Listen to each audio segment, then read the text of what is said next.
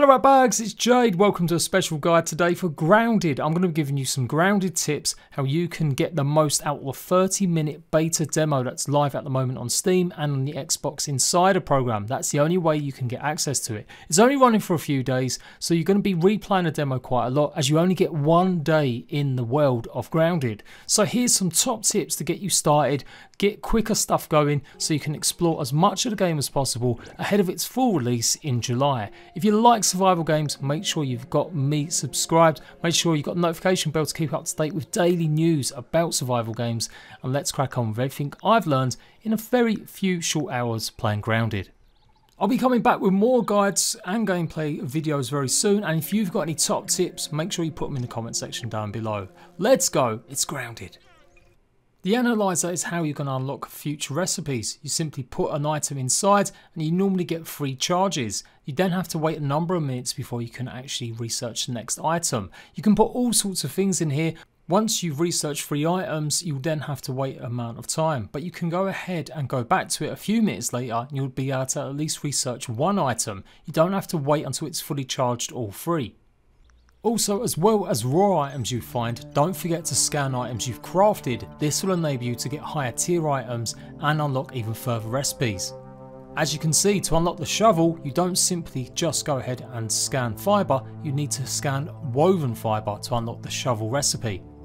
The first three things you want to analyse are sap, as this is going to give you access to a workbench as well as some lights, but it's the workbench that you really want to get unlocked. Also note blades of grass will also unlock the workbench too.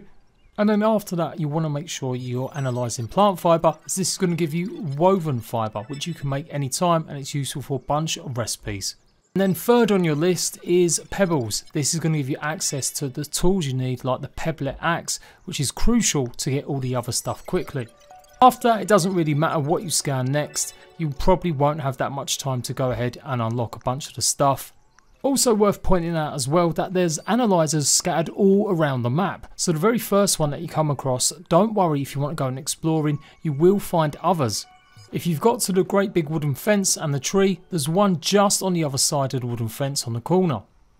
If you keep dying from falling from heights, well there is a way to stop that. Go ahead and try and look for dandelions. Make sure you chop it with an axe. And go ahead and look for the tufts that it drops. You'll use the stalks for reinforced buildings, but these tufts are super useful for helping you glide out of danger. They'll be automatically equipped and when you jump from a great height you'll start using them, but be warned, spiders and other creatures can still jump up and get you. The first time you go inside a drink can, you'll often wonder why they're here, as there's not usually anything there, but normally it takes a little while to build up. So a quick revisit later on and you'll often find some dew inside that will refill your water. You'll often find special dewdrops that have got a little bit of juice in around big cartons as well, so always make sure you look underneath anything like this. And that's still not the only liquid you can drink. As well as being able to drink the amber or the nectar, you can also go ahead and drink honeydew drops that you'll find in certain places too. As well as quenching your thirst, they'll also give you a small healing buff as well. I'm pretty sure as well they'll be useful for more advanced recipes to help you heal too. It maybe goes without saying, but try not to drink the dirty water unless you absolutely have to. It will replenish your water, but it does take away some of your health. As you go through the game, you will unlock some blueprints that will allow you to make dewdrop collectors. You just need some spider webs. But don't forget to look up and use pebbles to knock dewdrops down. They'll keep rolling, but there's a quicker way than chopping down the actual branches. If you're having trouble getting the story to progress, don't forget you've got to go down the whole line and take out every single termite if you want to progress it. You can come down this cave pretty much in the dark, you will find these strange glowing tendrils that give off a little bit of light, but it's definitely worth making sure you get a torch before you come and take on this part of the world. Don't forget to also travel up the power line and take out any termites as you will find a couple gnawing away on the cables above ground too. Also don't forget to fix the next light which is being blocked by a blade of grass. Make sure you hack away at it and it should mean that you've got all three lights equipped if you press the switch for the first one and you can activate the story. There's not much point to the story though in the demo. It doesn't really reward you with anything for completing these stages so I would do other stuff to get you used to the game. In the future, it will unlock better items and engrams so that you can go to bit revisit some of the areas that maybe weren't able to get to and it will progress the story. But for now, it is just a bit useless.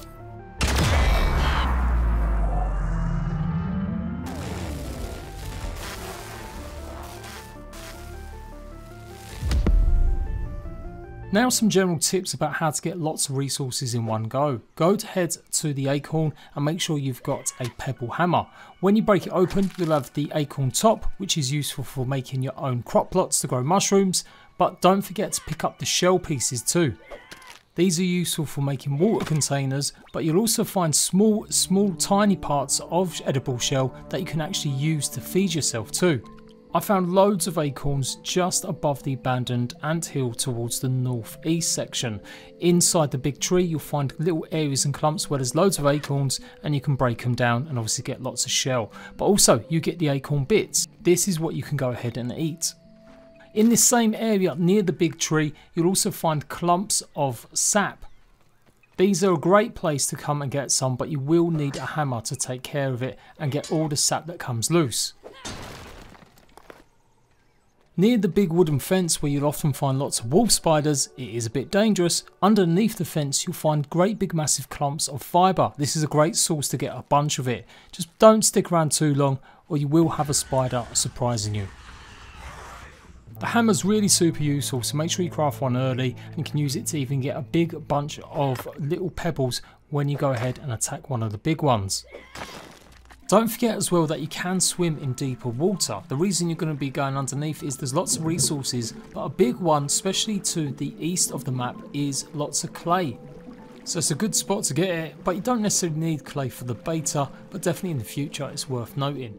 Again, the shovel can be unlocked by analysing woven fibre. You'll also unlock the sprig bow and eye patch. Cosmetic items or pieces of armour and accessories can give you buffs in terms of speed, melee damage and health as well. When eating mushrooms, try not to wolf them down all in one go. I've noticed whether or not it's a bug that if you eat them too quickly, it doesn't actually fill your food bar up completely. In fact, you're better off eating one, waiting for the food bar to go up a little bit, and then go ahead and munch on the rest. Of course, whenever you can, make sure you cook your food and make some of the recipes as this is going to give you much better buffs. Absolutely make sure you kill everything in the game the first chance you get. Obviously some of the bigger bugs you're not going to be able to handle unless you get better weapons and better armour or you've got a good strategy that means you can get them from range. But all the small critters absolutely try and take them on and make sure you pick up their carcasses so you can unlock better blueprints or items. Some of the bugs are pretty useless, they don't do anything other than maybe give you the option to make some stuff versions but most of them do drop certain resources or will allow you to progress by unlocking new things. You can go ahead and try and defend against some of these creatures and if you time it right you can do some Dark Souls style parries but you really have to be super good at it and making sure you're reading exactly when the bugs are attacking and often your weapons just still won't be strong enough. The exception to killing creatures is, of course, the ants. These guys will leave you alone as long as you don't attack them, and there's got some great benefits. When they come up to you, go and follow them. They're often hacking away at a creature and its remains, but they tend to drop all the other stuff. They'll only eat the meat and they'll drop things like gnat fuzz. They also drop other little bits and bobs for you as well, so it's definitely worth making sure you don't aggro and attack these guys. You never know what the ant may bring. Although the exception to that is the white ants. They're buggers, make sure you kill them always. Stuff that you should know, the map you can't put waypoints down unless you actually put a waypoint marker and you need to craft these using resources. Your wristwatch which shows you your health state for food, water, stamina is obviously super useful and it's going to be the main way that you check you need food. But there are two ways that you can have it display information. You can have it showing your food and water, you can see in the circles on it there. But if you hold down on the D-pad and toggle, it can turn into a clock. And this is useful for making sure you're not going to be caught out at night in some dangerous territory, or you're making sure you've timed something right if you want to go and analyze stuff. Pressing down on the D-pad is also how you toggle between first person and third person. When you pick items up, they often go straight to your hot pouch if there's plenty of space, but your hot pouch has certain slots of certain things, so it can pretty much hold three melee weapons, it can then hold some items of food, and it can also hold one healing item and usually one light giving item. At least I think that's what the light bulb symbol is for. The demo really only gives you a small amount of access to areas and there's still some areas though that are really super dangerous you will not be able to go through unless you've got a mask. Now as I'm aware you need to make the masks out of blue bottles or I think flies. So I haven't come across them just yet but I do know that the stink bug will pretty much kill you if you go near its area. It's pretty much near the great big massive rake. All around that dead grass area as well you might find some toxic fumes. This is what's going to kill you. So if you're wondering why you're dying and the screen's going yellow, it's down to the stink bug and the areas around it. So yeah, you won't be able to venture into this area until you've made that gas mask. You will just keep dying as it's way too toxic. Unless you're really super quick. Alongside the big fence posts you're going to find lots of the wolf spiders and spider webs. If you actually get caught in these it starts alerting the spiders that you're nearby so it's pretty much an alarm system that you've triggered. The only way to break through is by pressing RT and by that point that's when you're going to start triggering spiders. So you've pretty much got to activate it and then run away as quick as possible. As long as you're a bit quick, you should be able to outrun most spiders, but some of the other bugs are just simply too quick. Especially jumping over chasms, that's a good way to get away from them. Spears are going to be some of the best way to try and take out some of these guys from range, but you're going to have to craft quite a few. Rocks and pebbles are pretty useless. It only takes like a tiny amount of damage from most of these bigger creatures, so don't even bother. Just try and avoid them when you come across them. And that is pretty much it for my top little tips about the beta for Grounded. Of course, I've got more guides to come and they'll put you on the right path when Grounded comes out for full release. So make sure you go and check out them videos. And if you want the best in survival games on console, I am your man. I cover every single brand new survival game coming to console and the brand new ones that are coming out on PC as well with guides, tutorials and news. So make sure you subscribe, make sure you've got notification bell ticked on and I'll see you rat bags in Grounded soon.